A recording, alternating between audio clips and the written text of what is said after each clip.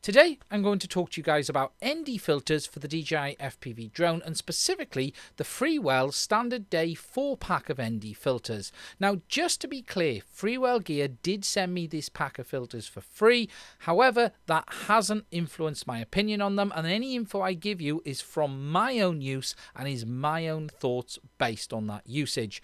Now, just before we jump into this video, I just want to say if you find it interesting, please do consider hitting the subscribe button don't forget to hit the little bell as well. That way you'll get updates on any new videos we release in the future.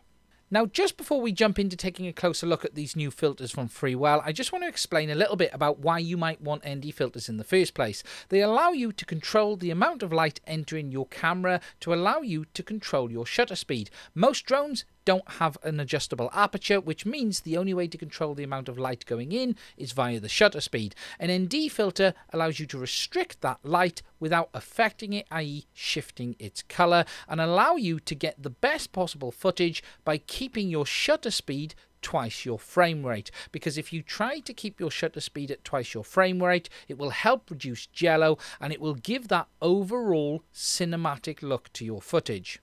Now, taking a closer look at the filters themselves, as I've said, this is a standard day 4-pack from Freewell Gear that consists of an ND4, ND8, ND16 and ND32.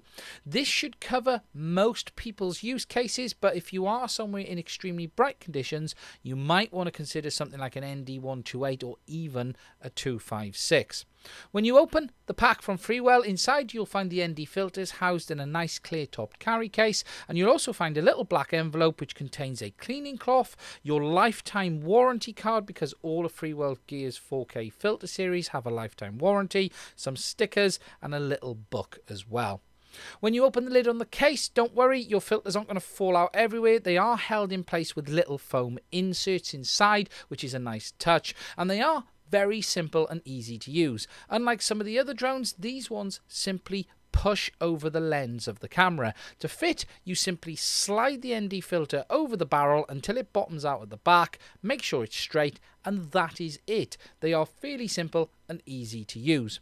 Once they're in place, you can then take off and begin to set your shutter speed, getting it again to that 180 degree rule, which is the twice your frame rate, and then you should get the best possible footage that you can get from your drone.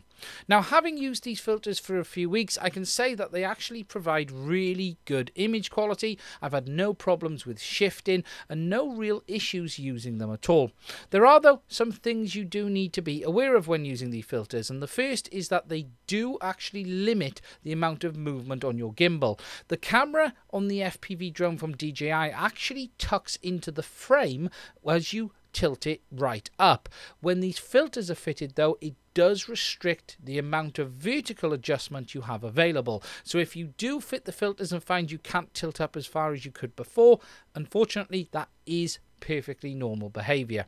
Something else I did just want to mention is that whilst these filters do simply push over the lens of the camera, I have noticed that they can leave the odd mark on the camera after you've used them. Again, this is simply due to the design of having to have the filter push on, but it is something I wanted to mention. It's not particularly unusual. It is the same as what I've seen on things in the past, but I did just want to make you aware of it.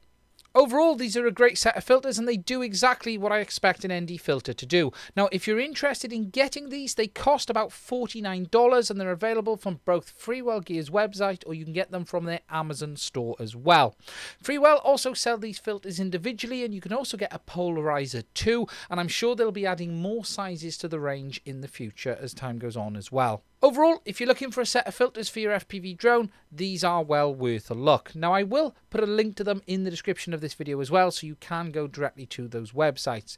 Now, I'd just like to thank Freewell for sending these over. As I mentioned at the start, I've been using Freewell filters for close to six, seven years now, and really, I've never had a problem. And as I mentioned earlier, they do have that lifetime warranty, but it isn't something I've ever even had to claim on because I've never had a problem with them anyway. That's it for this one. Thank you for watching. I hope you found the info useful. If you're interested, please do consider hitting that subscribe button. Don't forget to hit the little bell next to it as well, and I'll have more content coming on the FPV drone from DJI in the near future.